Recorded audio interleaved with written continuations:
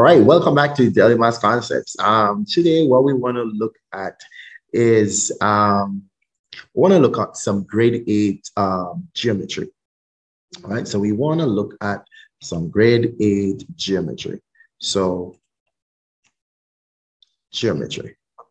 So, this aspect of geometry that I'm going to be looking at has to do with triangles and their total interior angles. Right? So let us say that we have a triangle.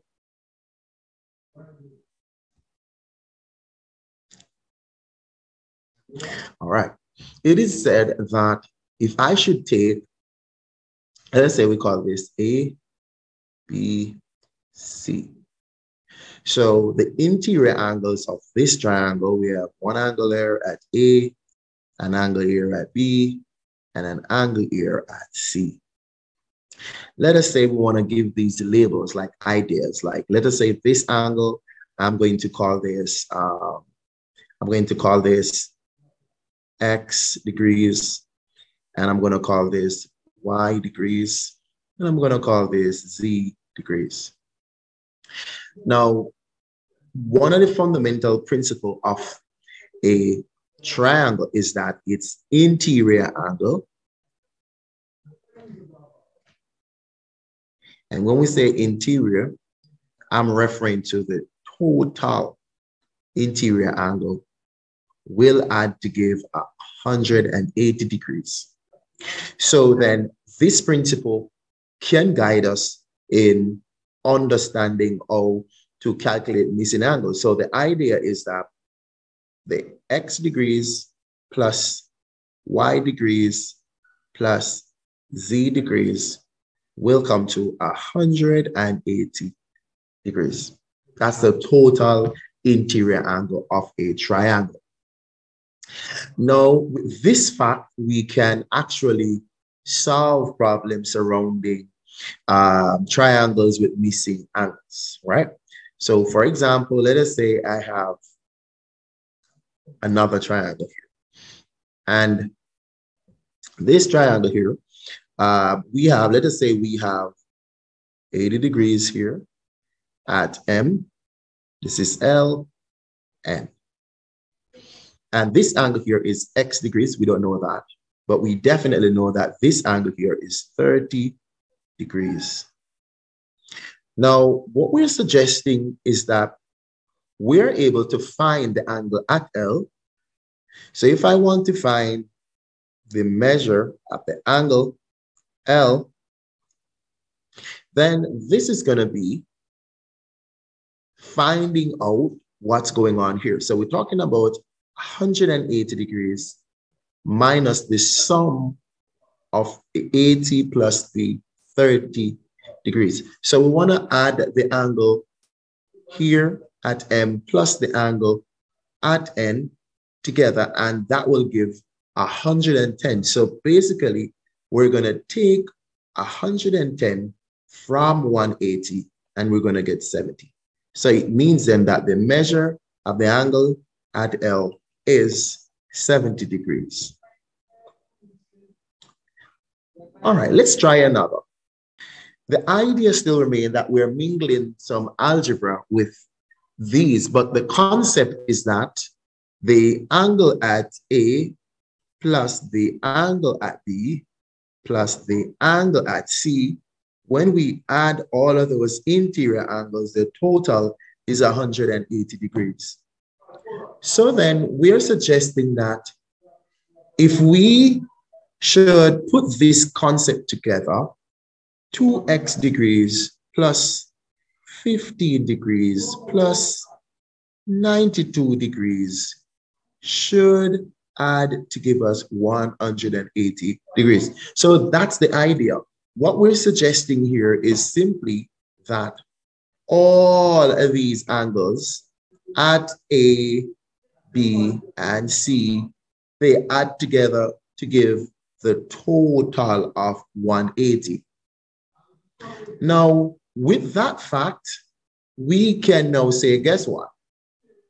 Let's put this together. 2x degrees plus the 15 plus the 92, the 15 plus the 92, That's going to give us 107. And this is still equal to 180. So what we're doing now, we're employing some algebra as we go forward. How do I isolate? How do I isolate my 2x? I'm simply gonna subtract, I will be subtracting 107 from both sides, right? So 180 degrees minus 107, and that is the 73 de degrees. So 2x is now equal to 73 degrees. So if I want to find a value for x, this is not x, this is 2x. So I'm going to divide by 2, divide by 2. So dividing that 72 by 2, then the value of x is 36.5 degrees. So that's the value of x. So sometimes we'll get problems like those, but the idea is still rest on the fact that the total interior angle adds to give 180 degrees. Let's try another example. The diagram is not drawn to scale, right?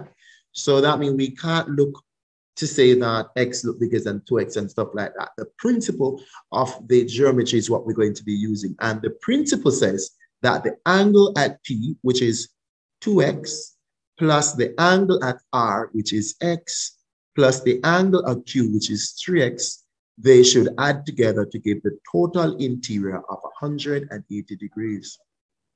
As you can see, we're using algebra again Let's add these variables. So 2x plus x plus 3x is a 6x, which is equal to 180 degrees. So we are trying to find a value for x, which means that all we're going to do now is to divide throughout by, divide throughout by 6. 6 cancel, here and 6 into this goes 30 times. Therefore, x is equal to 30 degrees. Now, on the fact that x is equal to 30 degrees, I, um, if there's a follow-up question of which I'll give, what if we want to find the value of all the angles at P, Q, and R? And then test it to see if they'll add back to give 180 degrees. Let's find the value of the angle at P. So the value of the angle at P is 2x. But remember, x is equal to 30. So 2 times 30 would mean that the angle at P is 60 degrees. Let's look at the angle at R. The angle at R is x, and x is equal to 30 degrees the angle at Q is equal to 3x. Now, x is equal to 30, so it's 3 times 30, and that will give us 90 degrees. So finally, let's put it together. Let us see if the angle at, let's see if the angle at P plus the angle at R plus the angle at Q, which would have been all of these angles that we have here, let's see if they add to give 180 degrees.